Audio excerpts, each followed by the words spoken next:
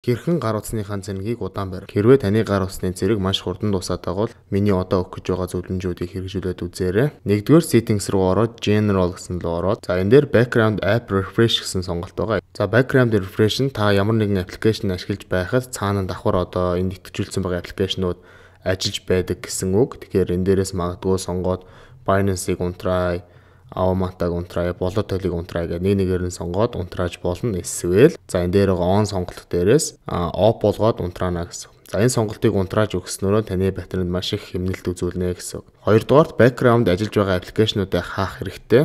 За миний хувьд одоо жишээ нь энэ Safari ажиллаж байна, Facebook ажиллаж байна, Photos ажиллаж байна, YouTube Studio ажиллаж байна, App Store, Shortcuts, Phone, YouTube, Instagram, TikTok эдгээр аппликейшнууд нь нээлттэй байснараа таны батарейг ашиглаж байдаг учраас хаагаад өгчих юм бол таны батарей магадгүй баг гүнэ гэсэн үг.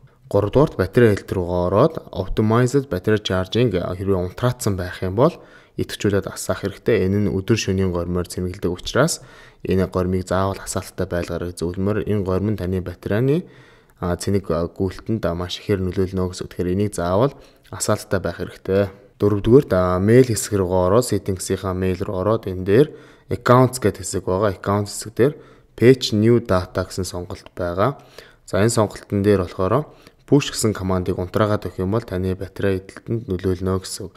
За энэ push команд нь таны одоо мэйл рүү iCloud, Gmail, календар гэсэн сонголтуудыг датаг илгээж байдаг, автоматар илгээж байдаг учраас энэ сонголтыг унтраагаад өгчих юм бол таны батарейны цэник багаар гүнэ гэсэн үг. 5 дугаар settings accessibility руу ороод за энэ дээр motion сонголтыг хийгээд reduce motion сонголтыг хийж өгөх юм бол таны батарейны цэник эдэлтэнд нөлөөлнө гэсэн. За reduce motion ямар тохиргоо юм бэ гэхээр за бид нэр settings-ээс гарах ороход за на parallax буюу ийм animation байгаа.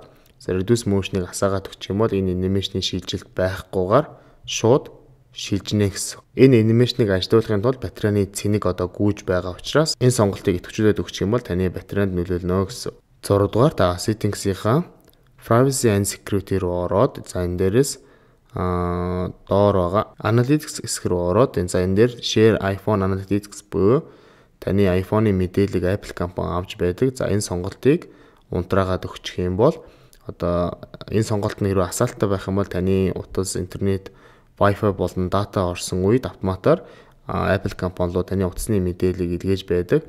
За тэгэхээр унтраагаад өгчих юм бол энэ илгээж байгаа юм маань автоматар ажиллагаа болж байгаа учраас таны цэник эдэлтэнд нөлөөлөхгүй гэсэн үг. 7 дугаар та privacy хэсэг рүү ороод location and service рүү ороод за энэ дээр system services гэх хэсэг байгаа. За энэ нь болохоор системийн сервис буюу одоо байгаа таны утасны мэдээллийг локейшнийг одоо илгээж байдаг гэсэн үг. За тэгэхээр энэ дээр доор байгаа product iPhone Analytics routing traffic гэсэн сонголтуудыг унтраагаад за мөн ялгаагүй энэ дээр хэрэггүй гэсэн зүйлсүүдэд унтраах хэрэгтэй. За HomeKit хэрэггүй. За setting time zone бол магадгүй хэрэггүй. За гэх мэтчлэн сонголтуудыг унтраачна гэсэн үг. 8 дугаарт accessibility руу ороод за энэ дээр display and text size руу ороод за доошлуулад үзэх юм бол auto brightness гэж байгаа автоматар дэлгэцийн гэрлийг тааруулдаг сонголт байгаа. За энэ сонголтыг автоматар ажилдгийг одоо унтраана гэсэн. Автоматар ажиллаж байгаа учраас таны батарейны эдэлтэнд нөлөөлдөг гэсэн. За энэ сонголтыг унтраагаад өгөх хэрэгтэй. За мөн ялгаагүй дээр нь reduce white point-ийг идэвхжүүл асаах. За энэ сонголтыг XG гэх юм таны дэлгэсний гэрэл айлуулах баг бах тусмаа таны цэник баг иднэ гэсэн их байх юм бол их иддэг гэсэн. Тэгэхээр энийг тохиромжит хэмжээнд авчиад тааруулчих юм бол батарейны цэник эдэлтийг багасгах боломжтой. 9-р display and brightness руу ороод За дэлгэсний гэрэл маань цайвар байх үедээ тод байх үедээ цэнийг хийддэг. За dark буюу бараан байх юм бол цэнийг бага гэдэг учраас тэгэхээр light биш dark горимд дээр ашиглаад үзээрэй.